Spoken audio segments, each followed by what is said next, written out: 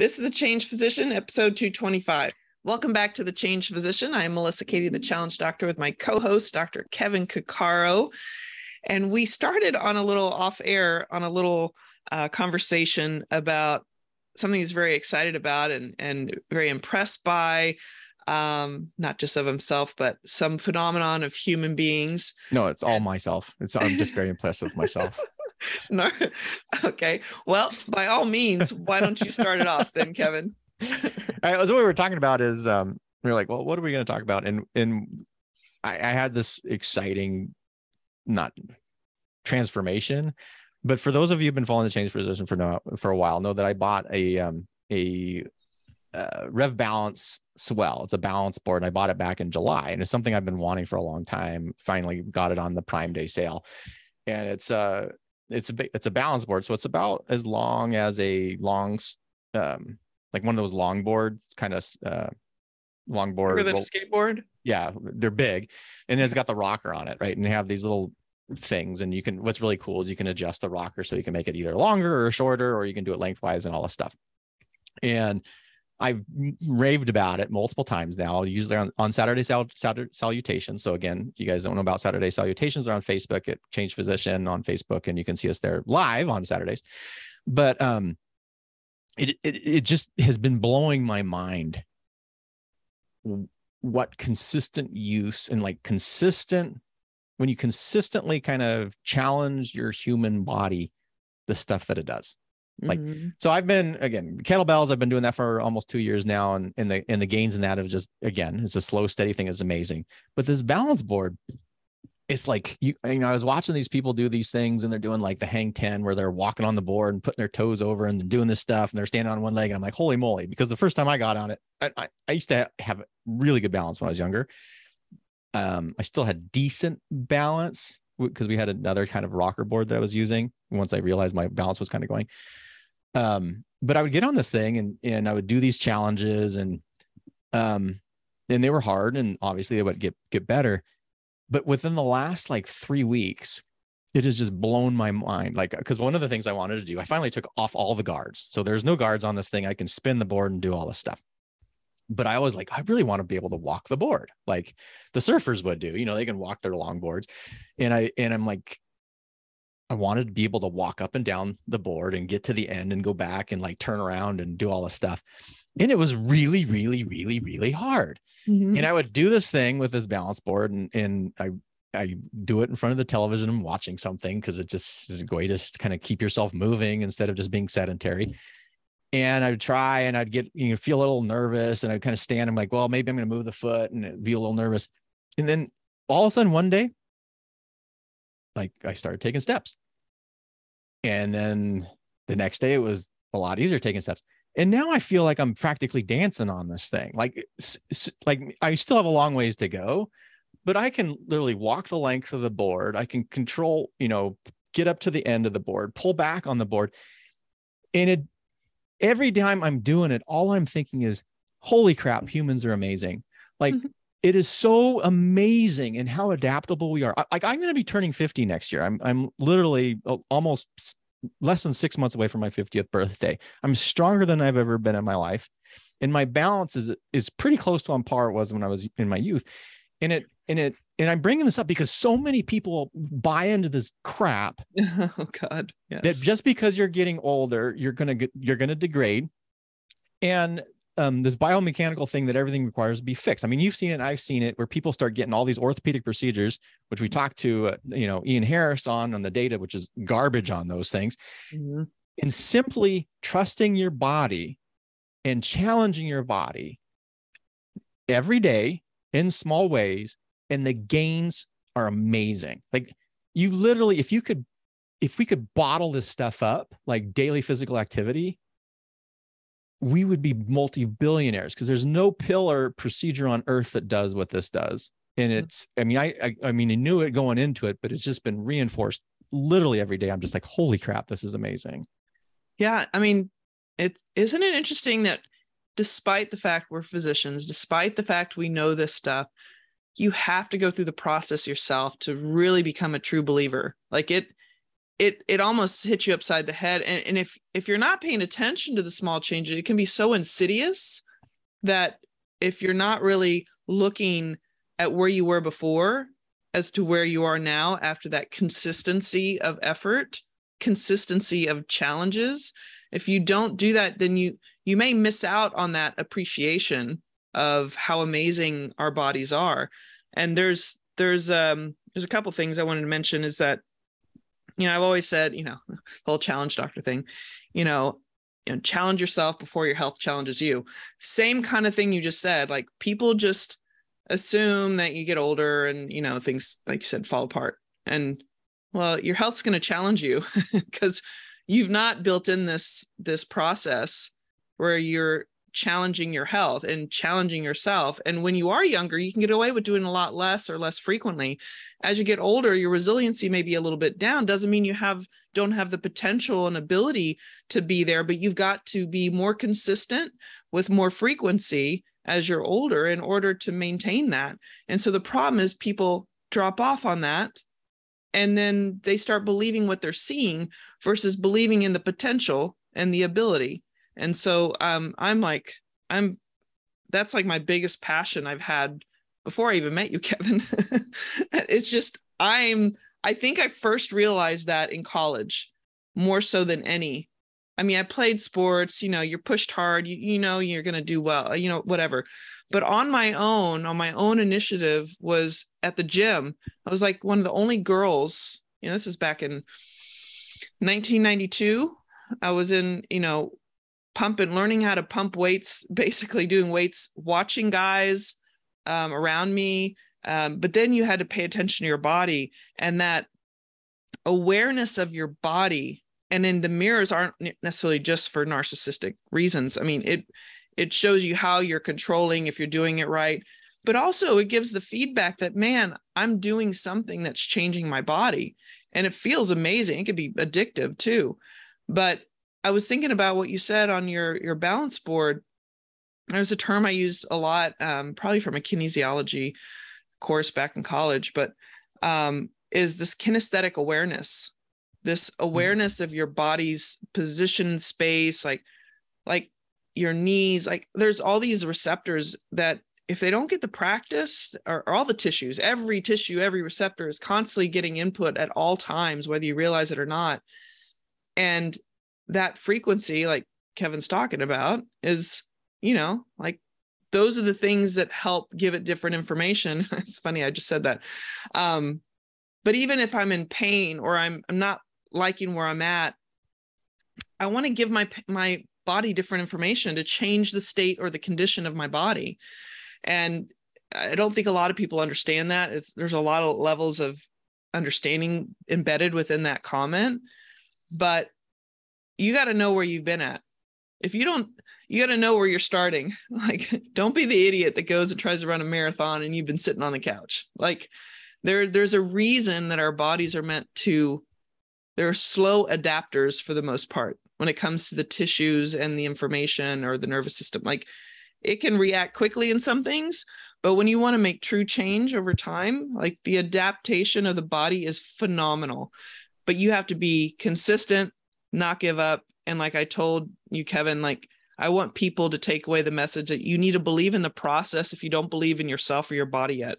You got to understand from people that understand this concept that your body slowly adapts over time. And it could be a little faster for some than others, but you've got to be consistent and give it the input it needs to get where you want to go. And don't just because you feel good, which I just discovered that in a friend recently, but I felt so good. And I was like, wanted to do like two miles of treadmill. And I stopped and I looked at that person. I said, How much have you done on the treadmill in the last three months? Nothing. I'm like, um, you might be paying for that tomorrow. and what happened? Excruciating pain the next day, you know? And it's just that same concept of adaptability. So anyway, I'm rambling because I love this stuff. Go no, ahead, and I, and I, and I think that's okay as long as they understand that that's the the, the those are the lessons. The, the next day, you may end up experiencing your body going, "Whoa, what is going on? This is so outside our norm." Yeah. But I, and it really comes down to you know it's it's persistent and being patient, mm-hmm. you know, mm-hmm. or persistently patient or patiently persistent. I'm not sure what what what the combination would be, but the more that you you I, I you know pers- how can we throw those pieces together patient. persistently patient and trusting the process but you know pulling those all together is is so fundamental one thing i wanted to talk about though um, just kind of flip back to your experience as an athlete mm-hmm. i'm always shocked at the number of athletes who fall into this biomechanical belief though mm-hmm. that because they were an athlete now they're bad or because i was a runner now my knees are bad mm. now because i was a whatever now my something was bad the only one that i'm pretty sure may have some good correlation is say football with the head injuries and cte and things like that oh, but sure but even with that i mean um you can always be better. Like I guess that's the, the thing is people say, well, I, I used to be able to do X, Y, and Z. Are are you saying that if I do this, I'm going to be able to do X, Y, and Z again? Again, and I would say I don't know. But what I do know is if you do daily physical activity and you challenge your flexibility, balance, and strength, mm-hmm. and you're getting, you know, doing healthy activities, you're going to be better tomorrow than you were today. And if you keep getting a little bit better every single tomorrow, pretty soon you're going to be a lot better than you are right now. Yeah. Yeah. And it's just, it, um, and that's when you might be able to change your limiting beliefs. Sometimes maybe, that's what it takes. I, but I, I, I do think, um, man, limiting beliefs are just, they're so insidious. You know, when, mm-hmm. when you look at how these beliefs start getting into somebody, and um they're so hard to get away from like unless oh, yeah. unless you've experienced it and th- this is the this i think is a, is a key point for physicians who may be listening is like we learn all this stuff and we learn about the capacity of the body to heal and the capacity it but i don't there's a lot of physicians don't believe that like even in the the facebook physician groups that I think I think we're both in. I, I probably hang out there more than you maybe because I just yeah. read them and see what they think. You would not believe how often I see a physician post something about pain and the amount of nonsense that gets posted below it about all the stuff that they sh- should have done to them that you and I both know you shouldn't do because there's no data. In fact, there's negative, you know, data that supports that isn't actually harmful for you. And they they pound all over this stuff because they believe in this biomechanical thing rather than trusting what they should have learned about the body's capacity to get better and adapt. Yeah. The other part when you're talking about the process, trusting the process, is um, there's a difference between knowing a thing and well, I should say as I should understanding a thing and knowing a thing or or vice versa. It's basically this idea of um I'm going to pull in some philosophy here. There's a this thing called Mary's Room. Have you ever heard about this? It's a no. philosophical discussion. And in Mary's Room, um, it's this idea that Mary say if Mary was blind and she comes into a room and the room has red walls and maybe a window and it looks out to a beautiful mountain, you could describe all this stuff to Mary. Yeah. But because but but can you truly say that Mary understands what it's like to be in that room? Right and that's the so that the argument being is you give somebody a lot of terms and you may actually have the book knowledge but till you've actually experienced it you don't fully understand what the nature of the experience is like if i can describe red to you and i can say red is a long wavelength and it's these these numbers which i don't know because i don't remember that physics very well and does does this. You may have all of the knowledge or of red the physical characteristics of it. But that is not the same as seeing red for the first time.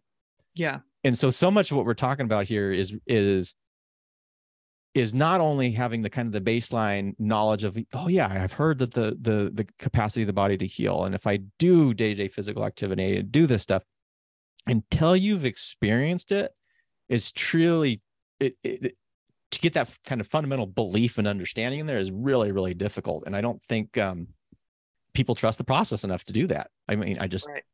or they'll deal default very quickly, or they'll kind of listen to somebody else who provides some stupid thing quick, that may quick fix thing. Yeah, um, you know, people like um, I I, I had a patient once, um, older woman. I think she was about eighty. She used to walk like one to two miles every day. Actually, I think it was just three miles a day, and she got her leg stuck and she fell and she broke her hip. And then once she um oh god, she got a hip replacement and all this stuff, and then she started having she was starting to experience pain, and she came in, and what she ended up having was she um she actually had uh, almost critical uh, spinal stenosis. Hmm. So people don't know what, but spinal stenosis is is when you get down into the lumbar canal, like you have your your brain, then you have the spinal cord coming down, and then it divides into a bunch of little nerves, and those nerves kind of go down into this thing that looks like a horse's tail, way, way, way down into the base of your spine. And over time, as we get older, you know, your bones thicken and the joints thicken and the ligaments thicken, and that space can get smaller and smaller and smaller. And there's a lot of people running around with what we call stenosis, which means just kind of squeezed and constricture. Um, there's a lot of people running around who have really, really tight areas down there because of how old they are and kind of how the ligaments hypertrophy and the bones hypertrophy and things who don't know it because they've never been MRI'd. And then once you MRI it, then they say, well, this is the reason. This is where your pain pus is oozing out of. And um, I've always there, there's a problem with that because number one, if if it's if it's a age related process that's been going on for years and years and years and in decades, again, the body's capacity to adapt is amazing. Mm-hmm. So, um, for this lady, like what we should have done is just said, well, okay, you got this stuff, but your hip is fixed. What you need to do is you just need to start working in, and you're over 80. So maybe instead of walking three miles a day, you're going to start with a half mile or a quarter mile or whatever. And every day you're just going to walk maybe a couple more steps. And it's going to take a while, but soon you should be doing the walking that you need, right? Because she was there. There was nothing acute other than the um, other than than the hip issue. Um, I I don't remember exactly everything that happened, but man, uh, once the imaging started, and this is back when I was doing injections and all that other stuff, and we I think we started talking more about this biomechanical stuff and really started kind of you know get someone who has got critical aortic stenosis and has had it probably for years and there's no acute you know no acute disc herniation that's all of a sudden causing it like an acute i'm going to interrupt you. You said yeah. critical aortic stenosis. Oh i'm sorry not aortic stenosis critical spinal stenosis. I think my other my other stenosis. Yeah. You know the likelihood that all of a sudden overnight that's the quote unquote cause is is it makes no sense at all. Yeah. Um anyway so she started doing this downward spiral and i don't know what got involved with the orthopedic surgeon and who knows what other things that they ended up chopping on her um rather than just simply trusting the process. You know, yeah, there's nothing acute. Get back to doing what you need to do. Yeah, you know, you made me think of, excuse me, the, um, the beliefs that are really hard to change sometimes. Like you talked about Mary's room or, or Mary, Mary, Mary's room. room. Yeah, yeah. Um, like if she used to have vision and knows what red looks like, but then you have that same person that's in the room and Mary has recall she can appreciate it she can taste it she can see it so to speak in her mind's eye or whatnot and really really truly it's in the fabric of her being that she understands what that process is or that thing is. And i feel like like you said unless you experience it have felt the transformation before it's really hard to have a deep belief in that process. So it's harder to stick with it. Um, and I find or or whatever the reasons might not be strong enough to go through that work or whatever it is. But I was thinking about a patient I talked to yesterday and in her 70s. And you know, you always want to know in anesthesia people's functional status, meaning their capacity for exertion, increased heart rate, blood pressure, the stresses of surgery, and all of that in anesthesia. And I just was listening to all the things she does, and I was just like, you're like amazing. Like you're who i want to be when i grow up you know in 20 years. Um but does an hour every morning of um oh it's not pilates it's um oh what is the name of it? They're very very small movements. I can't believe i'm forgetting it. Very small movements that are um they make you start shaking. Uh, i can't remember the name of it I did it a couple times. Anyway, now I'm very curious right now for this small shaky movements. Yeah. Well, actually, I'm going to look it up because I'm holding it back here. I think I may have written it down. Um, there it is. Oh, barre. Oh, B A R. The B A R R E thing. E. yeah Pure Barre kind of thing. Um i've done a couple of those you know i'm probably like person likes to move too much but man it works yourself in ways you never thought it would be like that difficult. Anyway so that's just one thing. And then there's biking and walking and still walks and does intermittent jogging what i've started doing myself right? You know especially if i hadn't run in a while just to minimal impact kind of like give it different information not always the same thing in repetition. Um but all this stuff done and I I had to say, I'm like, uh, you are like amazing. She's like, I just I have to do that. I got to keep my muscle up, and you know, it's just. And I was like, yeah, I wish I could convince my family and friends of some of this stuff. And she's like, well, I can't convince my husband. You know, he's like seeing her doing it. You know, she's she's like, you know, this big around and in her 70s and without any medical issues of any concern and um, you could say oh it's genetics or whatever. Like oh that's bs i mean yeah it's a part of it. It's it, but half of the stuff even turning on your genetics your certain genes on and off all this epigenetics that's part of what you're doing in the environment you're in and all those things. So you have way more uh, power over that. I can't convince my own family or friends of some of this it's like hitting my head against the wall. Um, that's a, the, one of the curses is when you're running against people's beliefs and particularly if you're if you're family. a physician or expert family just doesn't listen. I mean they no. they, they literally don't um you don't have as much authority as some non-family physician. Non-related physician. non, yeah not not yeah not a family, not a family non non-family member who's a physician. Right. And i mean it, it is it's it, it just yeah, whatever. I, I kind of just smile and nod now, but, although I but, tend to get a little frustrated every once in a while. But that's the key. So you bring up this whole thing at the balance board. The body is amazingly adaptable. And if you don't believe that and you don't trust the process, you probably will never believe that. And you are going to go downhill for the rest of your life. I hate to be that brutal about it, but if you don't embrace it, if you don't trust it, if you don't try it to change the belief that you have, because if you had the belief, I almost guarantee you, you'll be doing the things of that process to keep you away from all the troubles and downhill spirals that most uh, human beings, especially in America, you know, will go down. Um, now, granted, some bad things can happen. Uh, you know, you could become paralyzed, or you know, there are definitely some challenges that can make it hard. But even people who are paralyzed do more than people I know that have a full capacity body, that they are making all the excuses in the world and their life is one step away from death. And yet, this person who has no function of the lower part of their body is living their life to the fullest. You know, who's happier? I don't know. But functionality wise, like it depends on you and what information you give it and what you do with it. So I, I just, uh, I'm always encouraging people to challenge themselves because your body's adaptable. That is essentially all I do, whether it's mental, physical, doesn't matter. It's part of your being, it's part of your organism.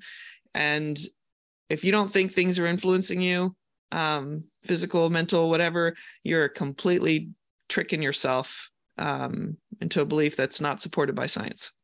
There you go. No, I totally agree. And and and people that believe that somehow we in medicine can fix things to better than that they were previously, hmm. that it's like uh uh I mean, unless you got some big growth that's, you know, pushing your trachea over and causing life-threatening stuff like well okay. then they but you excise it right and you're, yeah. you're not and then your body heals or and you right. let your body get better but it's the people i mean i know people who get the it, i mean it's the ortho stuff man that just it just chaps my hide. These people who get whittled on oh i have ankle pain and then they someone does something in their ankle oh i have knee pain and they dig around in their knee. we got a procedure code for that. Yeah we got a procedure code for that and it's like it will never it will never be better than it was before. Um yeah yeah. like, I mean, and sometimes, I mean, again, in situations, sometimes it makes sense, and that is still not a reason to stop. And if you, for some reason, have some horrible orthopedic trauma, you can still be better by making sure you're doing the work. But when people actively seek out this stuff, when there's really nothing wrong other than age related change, I know. I mean, there's a lot of industry built around it, but man, it's not good for your body. So, and certainly not better than what you could do on your own with less money, probably less time, probably less pain, and probably actually the side effects would be increased cardiovascular health, probably better mental health, probably better sleep. Yep. Yeah. Like I tell my patients in, in, in the right appropriate conversation, um, I tell surgeons too, they bring it up if it wasn't for the body's amazing capacity to change, the ability to stop bleeding, the ability to heal, you would have no job. There would be no surgeons. You would not make the living you make. Yep. No. And I absolutely. wouldn't have a job either. no, we wouldn't have a job, right? we, we, we, wouldn't have a job. Yeah. And really, that's what what medicine should be about is is facilitating the body's capacity to heal. Yep. We don't fix anything. Yeah. All we, we really ultimately do, matter what we do, is facilitate the body's yep. ability to heal. Yep. You know, think about that. Even with so somebody has no immune system left, we can't do anything. Mm-mm. You know, it, I mean, that was one of the problems with with HIV and AIDS, is because when you do not have an immune system, we can't replace that immune system. Not yet. then you can't fight off an infection. I mean, really, antibiotics, all this stuff, the whole the, the idea behind it in such a way is to allow the body to heal because either you're staving off the infection, you're keeping that bacteria in place while the body can mount an immune response for cancer uh, you know basically we're trying to kill off those cancer cells in order for the body to help to heal um yeah if the if the body just like you said if the body did not have the capacity to change and adapt everything we do doesn't matter yeah we would be extinct we would be extinct we would. so yeah. that's a long way to say man the human body is an amazing thing and the brain trust yeah. it engage yeah. in it and just you know trust that process and be patient and persistent man. Yeah agreed. Well why don't you take us out then? All right. Well thank you thank you all for joining us again on the the changed physician podcast. It's always a wonderful opportunity for me to talk about these things with my baseballs co-host dr Melissa Cady hmm. the challenge doctor herself when we're talking about challenging in adapting the human body. Um, if you would like to challenge your brain and your mindsets, you can join us at thechangedphysician.com. And until next time, stay well. Take care.